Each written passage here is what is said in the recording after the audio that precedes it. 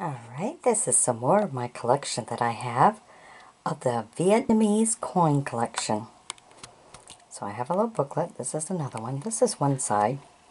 I don't really see too much of anything on this side. And then this is the other side. And see, it came in those little papers like this, 1881 to 85. And look at that. Those of you maybe can read the writing. Let us know what it says just by leaving it in a comment.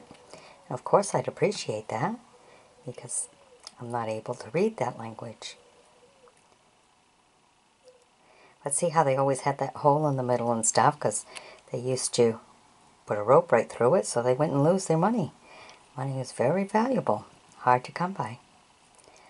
So put it in a rope and put it in their pocket, tied it up to their the loop on their belt, on their pants, one of the belt loops.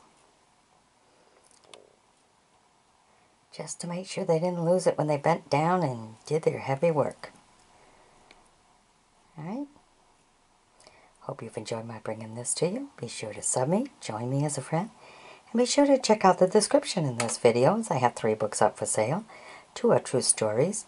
One is my own true story of growing up on the farm and what it was like to leave the farm and enter the world I never knew existed. The other is a woodsman's story of what it's like for a young boy to go to the wood camps with his dad. You know, the days they rode the logs down the river back then. And the other one's a holiday classroom craft for teachers, grades K through 6.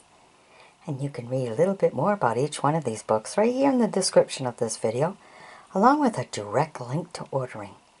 So check that description out, click that link, get yourself a good read, and it gets delivered right to your home. Can't get no easier than that.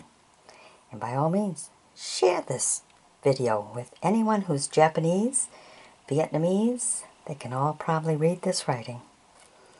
That way we can find out what it says. All right. Bye-bye now.